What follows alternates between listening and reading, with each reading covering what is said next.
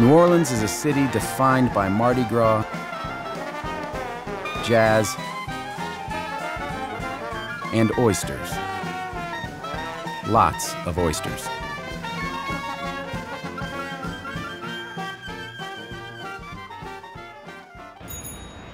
But during the stillness of early morning, New Orleans looks and feels different. More like a sleepy southern town. At least until you arrive at a small warehouse tucked away on a quiet street in the French Quarter. The P&J Oyster Company was founded in 1876 and is the oldest continuously operating oyster business in the United States.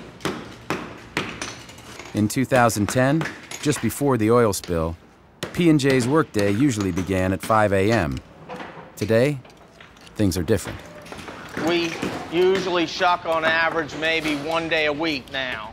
We used to sell about 15 to 20,000 pounds of oysters in the shell a day that went to oyster bars in and around the country.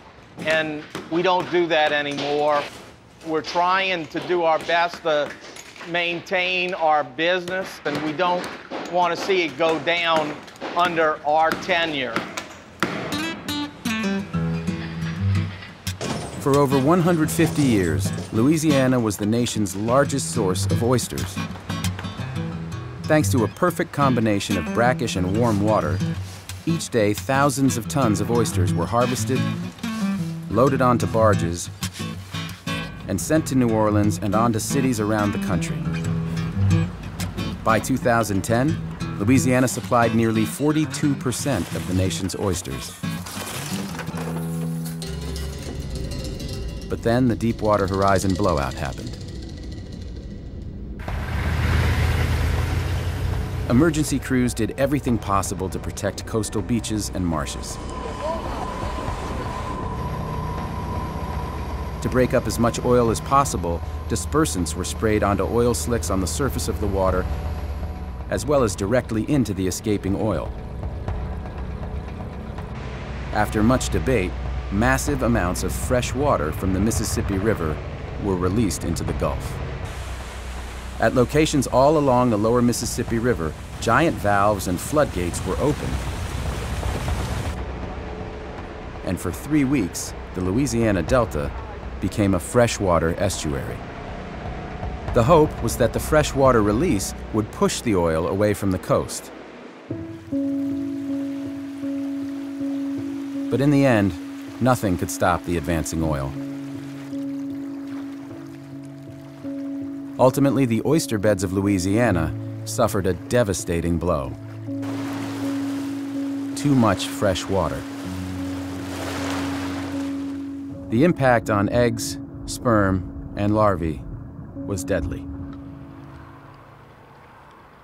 The impact on the economy of Louisiana's oystering communities was equally damaging. About 60 miles southeast of New Orleans is the mostly African American fishing community of la Hache. Nearly all the oyster boats in the local marina are idle. Byron Encalade is president of the Louisiana Oystermen Association. After the spill, went out there and found nothing but dead oysters. This community is dead. It pushed it into poverty like we have never saw before. We have always prided ourselves as being recession-proof in this community. What's the road to recovery? Give us something. We need the facts, regardless of what it is. We need facts, and, and we need good science. You know, that's a, a, big uh, question, and that's the question that we're trying to explore.